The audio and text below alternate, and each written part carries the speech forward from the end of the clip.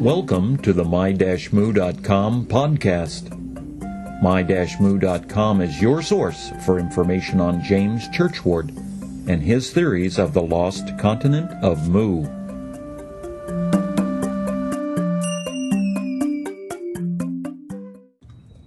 Podcast 15 Genetics and the Lost Continent of Mu.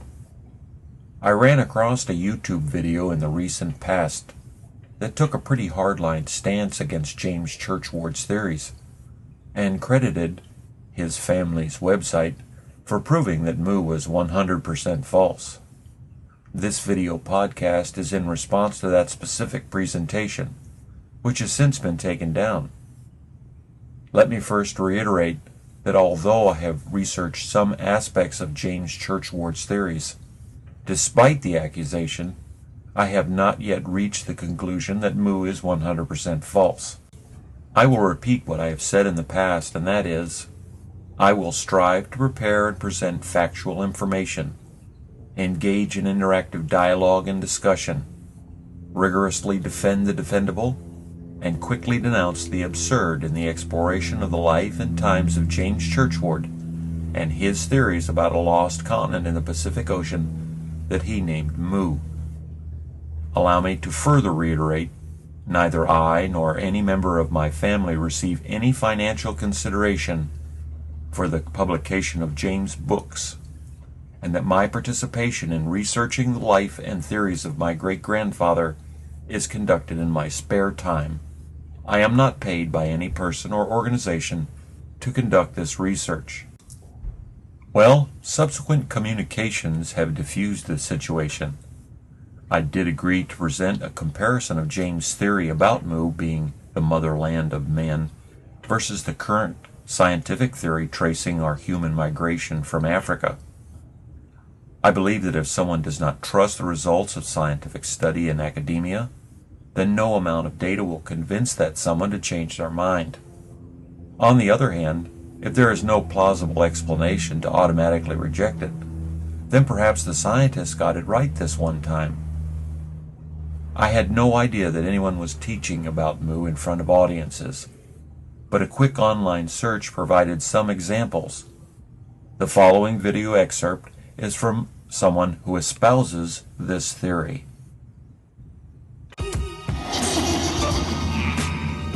we are debating whether the Nile Valley, Nile Valley civilization was the mother civilization. No, it was not. You are not ready. So, in a few words, what did James postulate as the location of the birthplace of humanity? First, James tells us on the first page of his 1927 book, Lost Continent of Mu, Motherland of Man, the Garden of Eden was not in Asia, but on a now sunken continent in the Pacific Ocean. The biblical story of creation, the epic of the seven days and seven nights, came first not from the people of the Nile or of the Euphrates Valley, but from this now submerged continent, Mu, the motherland of man. These assertions can be proved by the complex records, which I discovered upon long forgotten sacred tablets in India together with records from other countries. In the 1931 book, Children of Mu, James takes a deep dive into a discourse about the migrations of humans from Mu. And on page 99 provides a map of the migrations of what he identifies as the Negroid and Carian races. So, what does science say about where humans originated? Humans have experience with genetics, just look at the 15,000 year old tradition of breeding dogs. Starting from the wolf, humankind has created 226 different breeds that the American Kennel Club recognizes. In the 19th century, Gregor Mendel's studies with pea plants provided a clearer understanding and mathematical models to use.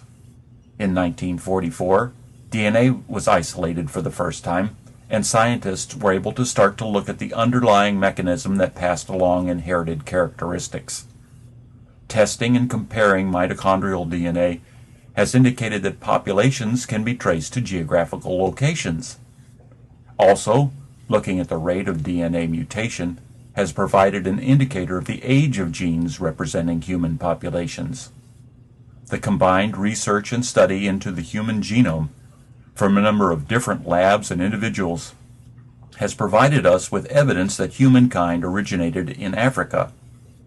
The maps are representations of the migrations of human beings over tens of thousands of years from the study of the human genome. The out of Africa theory, bolstered by this genetic evidence, appears to me to be more credible. One sometimes overlooked facet of the debate about Mu is that the lost continent is an outstanding place for the evidence for the creation of the species by the Supreme Being. James was an ardent creationist, and no one should be surprised if his findings further promoted that agenda. These points are mute as evidence for man's development in Africa have been discovered since James first published his books in the mid 1920s. Lucy, the Australopithecus was found in 1974, 38 years after James died. Whatever further evidence shaping our current understanding of the past was not available to James. The thought that the out of Africa theory might be considered conspiratorial is remarkable. How many labs, institutions, and individuals would have to conspire to falsify the data and analysis to make this outcome? Why or better yet, how, would a group of the most impoverished nations on earth conspire to achieve the goal of recognizing Africa as the motherland of humanity? Let's try to build bridges between people instead of walls. And as always, thanks for listening and have a great day.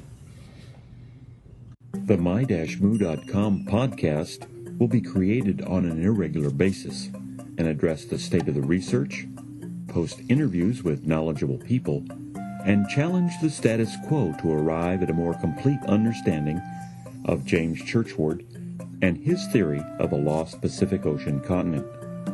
Please check back frequently at my-mu.com or join our mailing list to keep up to date on our progress and join the discussions. This production, copyright 2010 by Churchward and Company, all rights reserved.